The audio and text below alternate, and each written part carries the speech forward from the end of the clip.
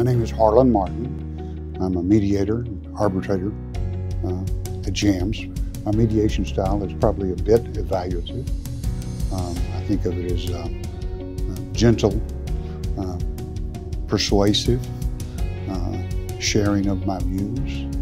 I seldom suggest settlement um, in a direct way, um, but I, I try to sort of marshal the wherewithal of what I've learned and lead the parties to that decision. And arbitration is quite formal.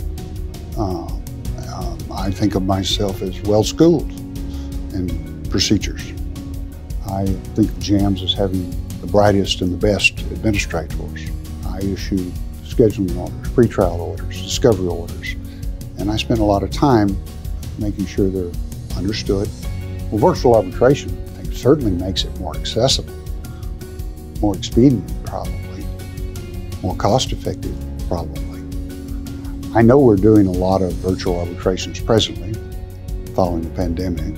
I expect it to remain um, half or near half of uh, our arbitrations in the future.